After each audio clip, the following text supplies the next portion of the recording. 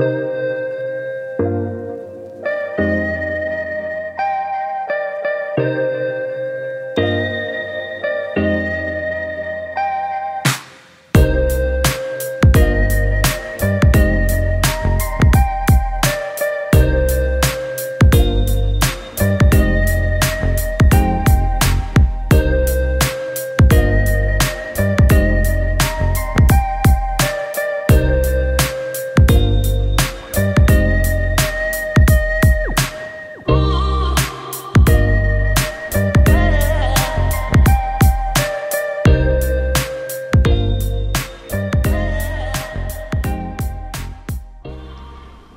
morning. We survived. we're in our hotel, we're finally warm, and we're in a mental state now that we can finally talk about days 8 through 11 because man, those were the hardest days of the entire trek. I'm gonna start by talking because day 8 was the summit of Kala Patthar and I did that one by myself. No judgment. She would have died. I don't blame her. I almost died. The morning started at 4 a.m., pitch black, stepped outside with my guide. The stars were out, it was a full supermoon, the mountains were glowing, and it was negative 22 degrees Celsius, AKA negative 7 degrees Fahrenheit. Within five minutes, hadn't even started up the mountain yet, my face mask froze to my face. It was so cold outside that the ground was twinkling underneath my headlamp and I still had two hours to go up and then another hour back down.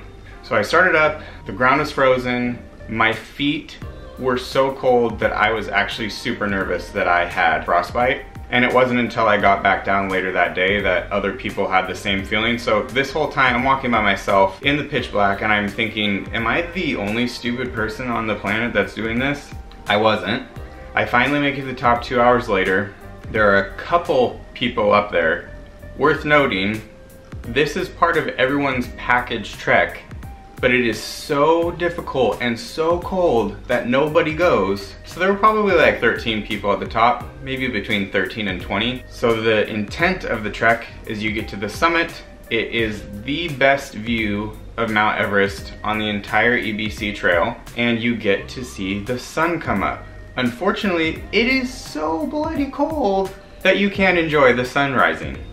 Everyone around you is shivering, trying to keep alive. Not just trying to keep warm, trying to keep alive. but when the sun comes up, it is the most beautiful view on the entire trek. Was it worth it? Yes. That was the most miserable and stupid thing I've ever done. But now I get to brag and say that I've been to the top of Kala Patthar. Would I do it again? No way. Am I glad Taylor didn't go? Yes way. Oh, oh my God. When I mean the stupidest thing I've ever done, I mean that was the stupidest thing I have ever done. It was the most difficult thing I've ever done in my life. At the final leg of it, I was climbing on my hands and feet. I thought I was gonna die. Then it was still another hour back down, but I'm glad I did it. This is all by 7 a.m. I'm now back down the hill, we have breakfast, and we're ready to head to the city of Pangboche. We journeyed back, we grabbed some lunch, another very strange lunch on the trail that we came to expect. Some of the foods are just a little weird, but you gotta expect it because it's brought up for days and days in the middle of nowhere in freezing temperatures. You get what you get. We passed beautiful views that we hadn't seen on the way up. We passed yaks, we had gorgeous weather, and a big complaint on the EBC is that it is one way up, one way back. But we actually came to find out that that was actually really great because, for example, on day six, there was a terrible snowstorm and the views on that day are some of the best views on the entire trek. And by going back the same route, we had gorgeous weather, and we would have been totally sad if we missed all of that. So. I mm-hmm. actually enjoyed getting that new perspective on the way back, even though it was technically the same scenery. It's the best scenery on planet Earth, so you can't complain. For me, it was an 18 mile day. For Taylor, it was a 15 mile day. Not too shabby. So morning of day nine, we left the little village of Pangboche to head to Monjo. Goodbye, Pangboche. we have another really long day ahead of us. The itinerary lists this day as stopping in Namche Bazaar. However, our guide recommended that we just trudge on for another hour and a half because it would make the next day even better. And part of this trail was slightly different than before, so we got to see some new Buddhist monuments and just enjoy the scenery. Again, we had amazing weather, so the views are just ridiculous everywhere you go. We definitely got lucky this day. It was so nice. We passed a herd of goats, Himalayan mountain goats. We tried to ask our guide what species they were. He didn't even know. But that was one of the first real signs of wildlife that we had seen in days. So that was pretty exciting. After about five hours of up and down and up and down, we made it to Namche Bazaar. one of our favorite villages throughout the entire EBC trek. So we got one last view of the city. We grabbed um, lunch. After lunch, we hit the trail for about another hour and a half. And this was our final goodbye to Everest. Oh, that was weird. To see Yeah. something like that and know that you probably will never see it again, that was a hard goodbye. It was a it was a good moment though. I'm super glad our last day we had the view. But that was that was bittersweet. It was totally bittersweet. And then from Namche Bazaar, it was all downhill, and that's kind of when the pain set in. Every step we took, our knees and hips were aching. We said goodbye to our favorite suspension bridge and the highest suspension bridge throughout the trek and made our way on to Monjo, completing our day at 15 miles again. Ugh. This was a special guest house though. The whole time we had been miserably cold, uncomfortable, really no access to uh, power other than a couple of light bulbs in the dining room, and this place gave you free plugins. Let us be the first to tell you that that is not something that you ever get. So that was like luxury. We felt like we mm-hmm. were finally back on planet Earth first time. It was also really enjoyable because we got to plug in the computer and actually go through all the photos that we had taken for over a week. And we just got to kind of relive every part of the trail and it was really nice to just, I don't know, go through all of it. awesome It place good. to stay. Yeah. Even though on day 10 you are almost done, it is one of the top three most brutal days, easily. Day 8, really brutal for me because I went all the way up to Kala Patthar. Day 9, super brutal because it's up and down and up and down.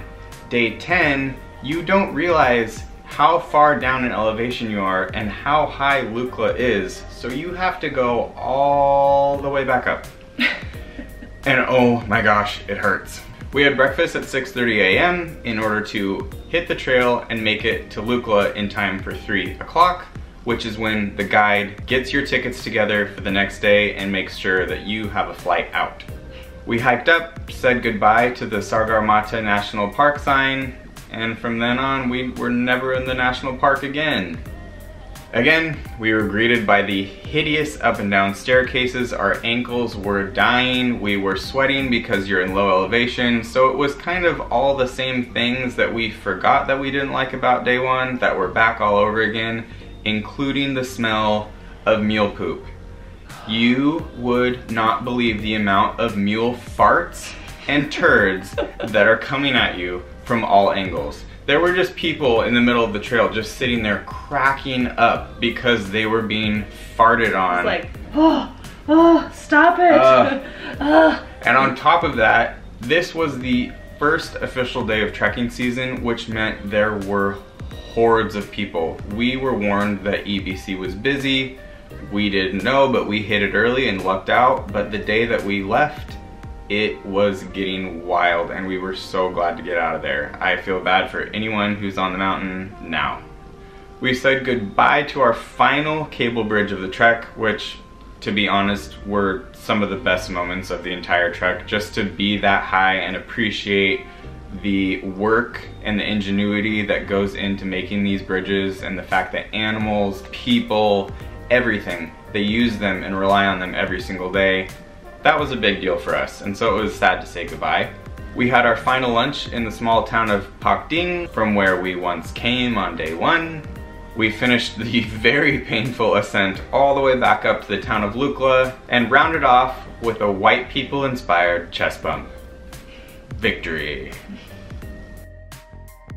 Day 11 was our easiest day yet. this was the day that we got to fly out of Lukla and head back to Kathmandu. So we chowed down on our final breakfast at 7 a.m. in the morning in order to make it to the airport on time. We did spend some time watching the flights come in and out and kind of mentally prepared ourselves for this takeoff, which is a little interesting. So the runway is at about a 30 degree angle, which is very weird. I've never seen anything like it. But what we found out is that when the flights land, the runway is so short and there is a brick wall at the other end that the angle up makes it so that the planes coming in hot can slow down quickly and make a sharp right turn and end the flight. For the flights that are leaving, the angle is useful because at the end of the runway is a sheer cliff, and this is the Himalayas. We're talking thousands of feet down, so they need enough speed to make it off of the runway before they go crashing over the edge. So this was really interesting to watch before we got on the plane ourselves. These flights are canceled all of the time. We lucked out, we had good weather, and so for us, takeoff was easy. It can be a total nightmare, and we've seen videos that it is a total nightmare, but we survived. After takeoff, the flight is actually quite peaceful. You fly at 11,000 feet and you're just kind of eye level with so many mountains in the area that you forget about landing or takeoff and you just kind of take in the scenery and just enjoy your 27 minute flight. it is the most expensive 27 minute flight on planet Earth, but what you kind of get out of it is like a personal tour of all of Nepal. Right underneath you are all of the remote villages. You see the mountains in the distance. The landing in Kathmandu is gorgeous. There's so much to that city that you just don't see. And so it's just kind of a nice final little ending to an amazing trip. And just like that, it's all over. Would we recommend it to everyone? Absolutely. Would everyone enjoy it? No. Absolutely not. This trek is serious. We took it seriously, so we had a good time. We prepared well, we had the right gear, we made sure that we were healthy before we went to Nepal, so everything kind of fell into place for us. But if you don't take this seriously, you are not gonna have a good time. It is the coldest that I have ever been in my life. And that is one thing that I didn't really take seriously is just how immensely frigid these nights and days are. It's crazy. So if you don't like cold, it's not for you. We are two people that have not done a good job exercising on the road and we were really, really nervous before we went on this trek. Mm -hmm. And we saw people of all shapes and sizes and ages making it to the end. And is it hard? Of course it's hard. But you do not need to be a seasoned athlete in order to make this happen. You could be the strongest Olympian in the world, and if you have a sinus infection, you're not gonna make it to the top. Everyone's journey is totally unique based on the current state that their body is in, truly we were just so lucky that we had been taking vitamin C and watching our immune systems and making sure that we were gonna be okay because we saw people that were struggling on day one that looked way more fit than we did. And not even that, like the acute mountain sickness that you can get, it can just show up out of nowhere. You could be the healthiest individual on the planet and you still might have a headache or have issues with vomiting or diarrhea or anything like that and you can't make it. So it's like an individual experience for everybody. No, totally. not one person is the same. I think the other question we'll probably get a lot is, will we do this again? And my answer, and I think it's the same for Taylor, is no. Not because I didn't love it. This was the most amazing thing that we have ever accomplished. and the Himalayas are probably the most photogenic place on planet Earth. But this is one of those times that you do it once and you want to leave it there because mm-hmm. if you do it again you take the risk of just not enjoying it as much as before because there's there's just something magical about seeing something for the first time and then leaving it in the past because you can never relive that thing twice anytime that we've ever gone somewhere twice that's always the case for us i just think this is one of those really important life mm-hmm. moments that you do once and you move on and you just cherish those memories for the rest of your life this was the coolest thing we have ever done. Yeah. Would we go back to Nepal and see other areas of the Himalayas? Yes, just not right now. I think we need a break. we need some time.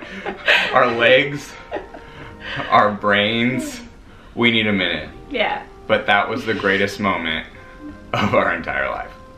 Hands down.